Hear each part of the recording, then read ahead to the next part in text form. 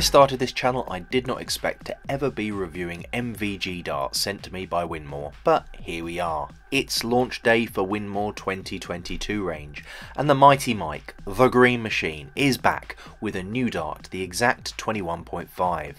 These darts look very similar to the ones he's been throwing lately, and I'm pretty sure that they are his match darts.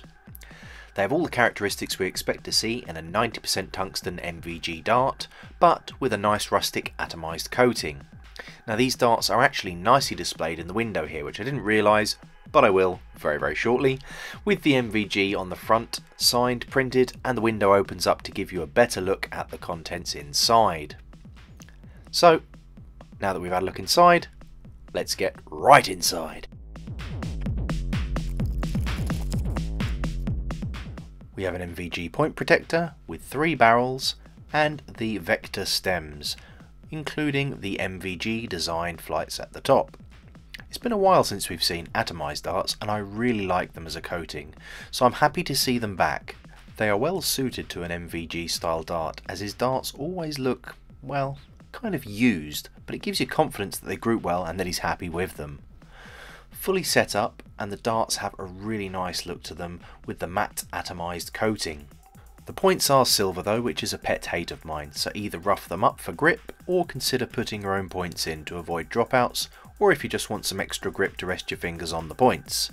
Now the bull nose is the same as we tend to see on MV darts, and we have the standard ring grip that moves into a Cullen Rids kind of style rounded ring grip, much like Ross from Clash of the Tungsten had on his darts.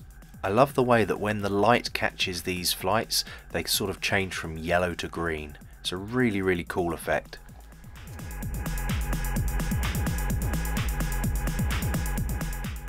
We then have the laser etched logo of MVG before having the same repeat grip with some extra standard rings and a smooth section at the back with the Winmau branding laser etched.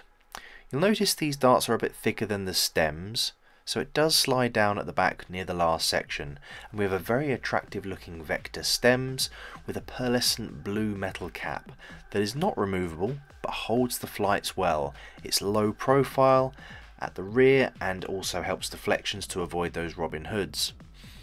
It's a nice tight fit for the flights that depending on how you catch the light or if you have material behind the yellow clear section it starts going green which is really lovely effect I like on these flights.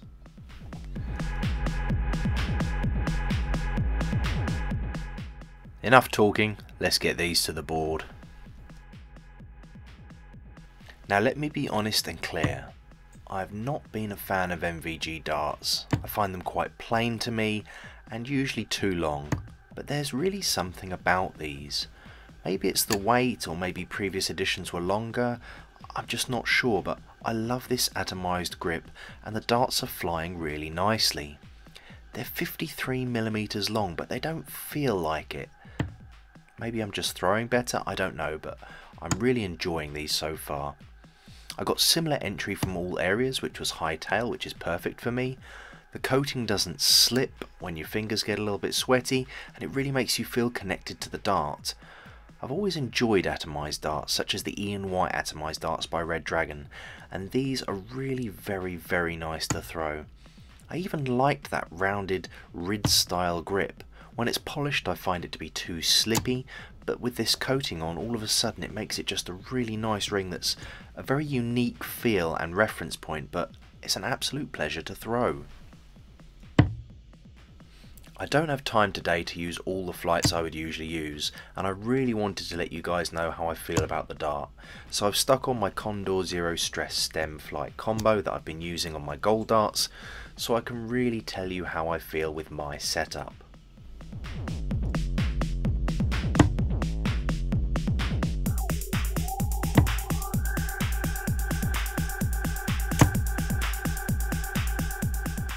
Well that didn't take long did it?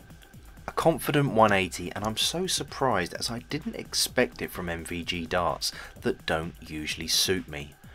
I'm throwing on the new Blade 6 Carbon, which if you haven't watched my review already you really must. Is it the best board ever? Well, watch my review. Anyway, back to these surprising darts. I've sped up the throwing, but these darts really were fun to throw, and I don't usually like darts this long, as you know. I'm confident it's because they are lighter, making me feel more like I'm throwing a conversion set or a soft tip, but they just glide through the air and the more and more I throw them, the more I get used to them and can adjust. I'm finding that the adjusting is really really easy with these darts. It's really very surprising, but a very nice surprise. I'm actually quite impressed.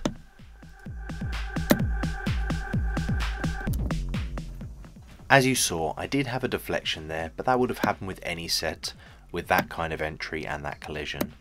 My only actual gripe with these is a familiar one as you've seen if you've watched many of my reviews, the points. Rough these smooth points up or maybe stick in a grippy point and these would really be something. Imagine if they had a sandblasted point in with these atomized barrels. Actually don't. Whitlock's board killer points on my new blade carbon is a no-no.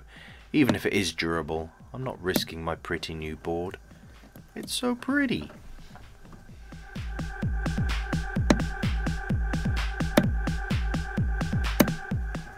Okay, three more now, and then we'll do a quick summary on these quite surprising but very nice MVG darts.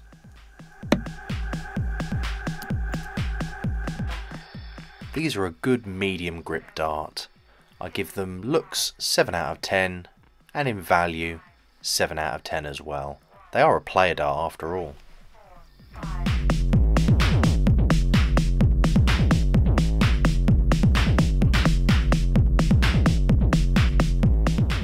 In summary, at 46.95 I can honestly say that this is an MVG dart I would purchase. A fantastic one for the collection, and I think the most throwable one for people who don't typically get on with barrels that are beyond 50mm. For those of you who enjoy this length of barrel, I think you would really like these. The ring cuts are familiar, but the coating changes everything, the whole feel of the dart in your hand. They're forgiving and have a good standard of entry because they have a good central weight and balance.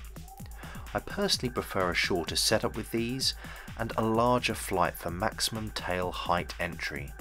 And I would rough up these points or stick in some grippier points in that give your dart that confidence as it enters the board.